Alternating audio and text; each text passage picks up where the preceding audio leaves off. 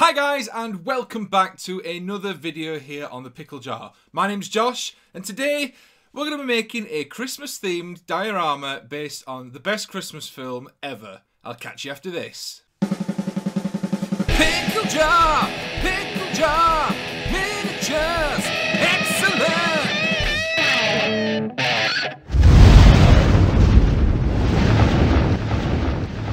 Hi guys and welcome back to the channel for another painting video. If you are enjoying the content make sure to hit the like button down below and subscribe if you're new and check out the links in the description if you want to help support the channel. So last year I put out my first Christmas video on the channel where I painted up the Red Gobbo, which was a limited edition miniature from Games Workshop. Now, I had a lot of fun painting this miniature. I really enjoyed painting it and putting the video out, but I wanted to do something a little bit different this year. So over the last few weeks, I've been sat thinking, what can I do for a Christmas video?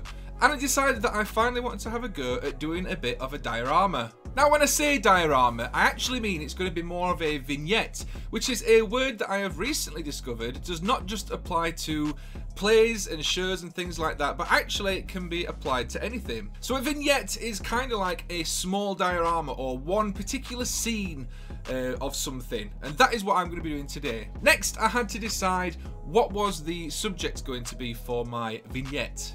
Such a fun word to say, vignette. So I had a quick look through some of my favourite Christmas films and decided that there was really no contender. It was only ever going to be one film. The best Christmas film, Die Hard.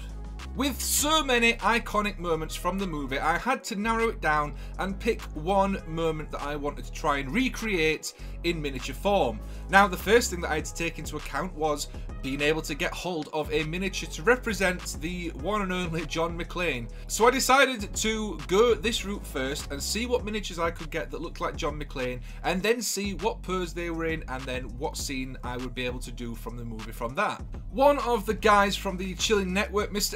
Elstonation, if you're not subscribed to his channel, there's a link in the top right hand corner right now, hit me up with a link to this guy from Studio Miniatures. Now this guy was perfect, he's obviously supposed to be John McClane, so I sent an order out and sat waiting for him to arrive. Now I needed to decide what scene from the movie do I want to recreate with this miniature. Now, my original intention was to do the welcome to the party pal through the window, like smashed window.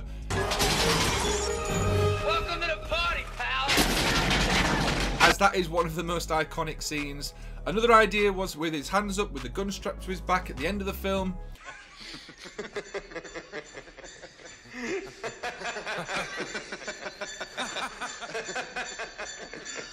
But because of the pose of the model, because of what it was, I decided to go for another iconic scene in the movie.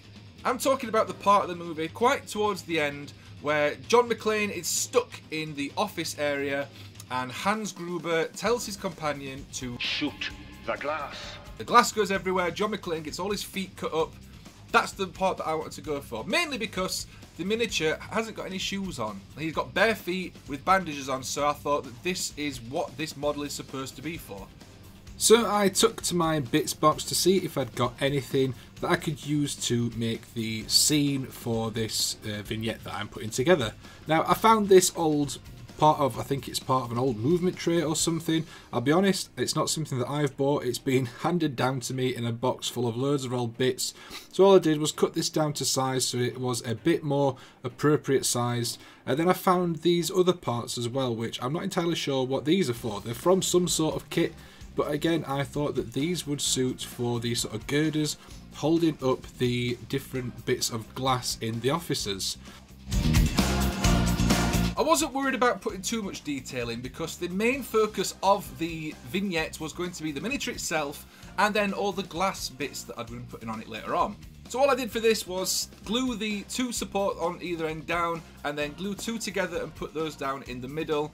Um, and then what I did as well was add just a little bit of support going across the top just to try and hold these together a little bit better rather than having them just completely freestanding.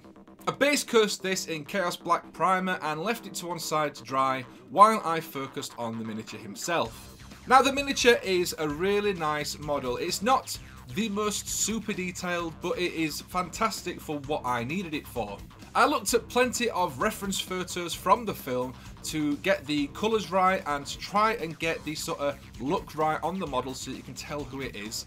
Painting the model was a lot of fun, mainly because there's not a great deal of detail to put onto this guy, and it is more about getting the colours right so that you can tell who this is supposed to be. I started off with a mix of Macragge blue and black for a base coat on the trousers, and then put a very slight highlight on of pure Macragge blue.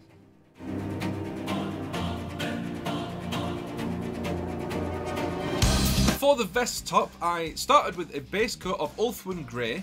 I then mixed in a bit of a bone colour to give a slightly creamier colour and applied that over the top and then watered down some more Ulthuan Grey and applied that as kind of a wash over the top. I didn't want this to be completely white and I didn't want it to be cream, I wanted it to be sort of a mix of the two and I thought that this would be the best way to do that. Once that was all on and dry, it was time to dirty that tank top up. The scene that we are doing is towards the end of the film, once his vest is completely filthy, covered in blood and muck and all that good stuff. So I wanted to represent that with the miniature. To do this, all I'm doing is applying various washers in different areas and different amounts just to give that stained, dirty look. The two that I'm using are Biel-Tan Green and Agrax Earthshade in different amounts and different volumes, waiting for one to dry, going back over it again, and I think that this actually gave a really nice dirty look. Once I'd finished with the tank top, it was time to tackle the skin. Now, skin is something that I've been working on for a while. I'm trying to improve how I do my skin tones, and so I'm painting more and more models that have got flesh on them. For the flesh on this guy, I just used two paints. I started with a base of Ratskin Flesh and then added in some Kislev flesh for the next layer up and then for a final highlight just added pure Kislev flesh. I'm watering all these down so that they're not going on too thick and I'm actually really really happy with the skin on this guy. Once the skin was done, it was just time to add a few details. I added some brown for the belt going around the top of his trousers, painted his hair brown, and then did a quick dry brush with a couple of greys on the gun. There wasn't any definite detail on the gun to pick out, which is why I decided to go with a quick dry brush just to pick up some of the edges so that it wasn't just a flat black gun. And I then added a little bit of metallic to the magazine and to a couple of areas on the top. It's time to add the final finishing touches to this guy, and that is just to cover him in blood basically.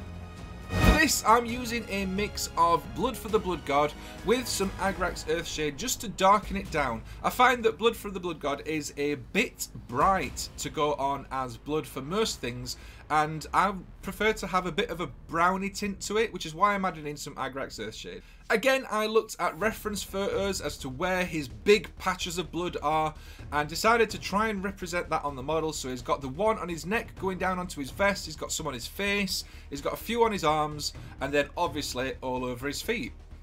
Once that was on, I did go back and add a little bit of Blood for the Blood God just by itself, just around some of the areas that I'd done, just to show that some of it is fresh blood and some of it is sort of dried and congealing. With the miniature finished, it was time to work on the scene itself.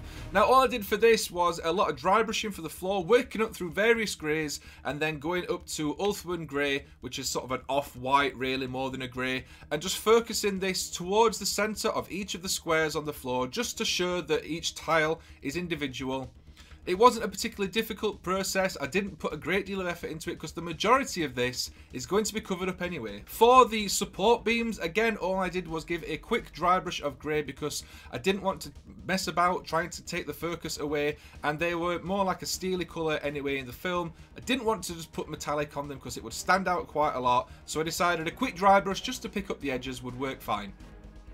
Again, this is my first attempt at doing anything like this. I've never done a vignette before. I've never really done too many dioramas before, so this is all new to me, and I'm just enjoying having a go at it. With the majority of the scene itself done, I decided to put John McClane onto the model and just to see how it looked all together. My first thing that I noticed was that the scale is slightly off.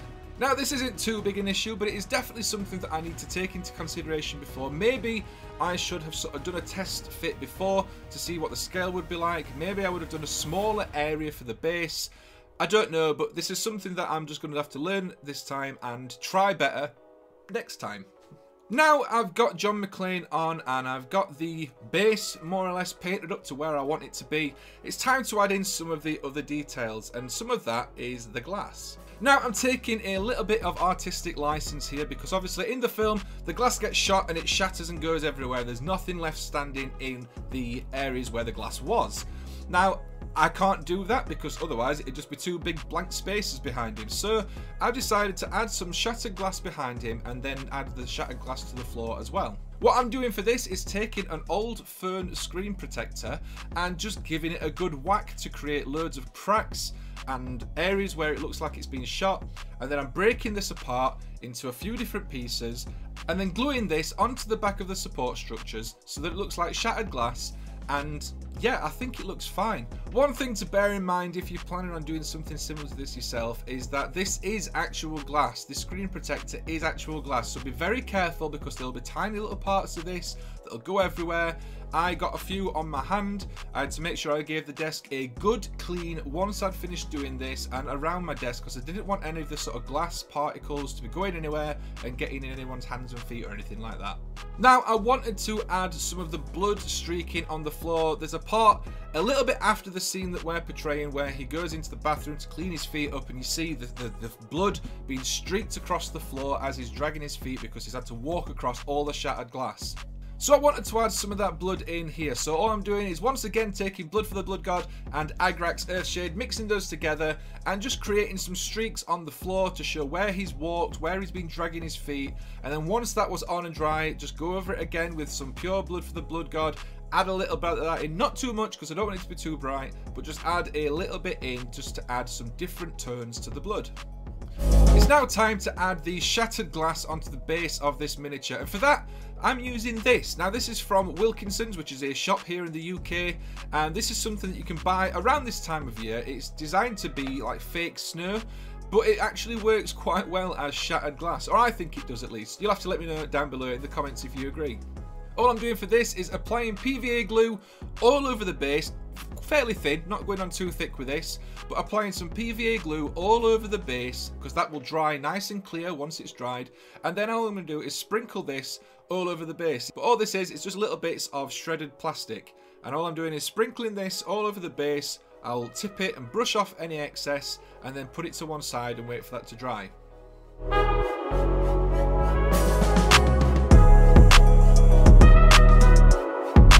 This stuff cost me about a pound and I bought it just on a whim thinking it might come in useful for some sort of diorama or Christmassy type thing and it has done but I'm using it as glass not snow.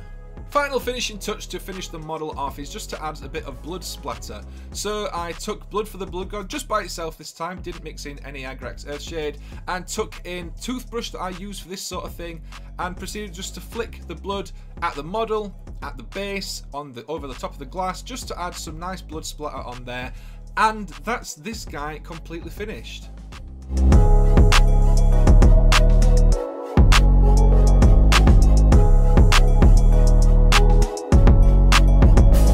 At the model, I am quite happy with how it turned out. I know that it's not going to be the most amazing. There are people out there that'll go, that looks rubbish. But I'm really, really happy with how this turned out. There are a few things that I would have done differently next time. Uh, the scale, like I said earlier, is slightly off. The windows are a little bit taller than they maybe should be. The glass obviously isn't the right scale because compared to his feet, it's massive, that's shattered all over the floor. But I think it gives the effect and you can tell what this is supposed to be. Miniature itself, I'm really happy with the paint job I put on it.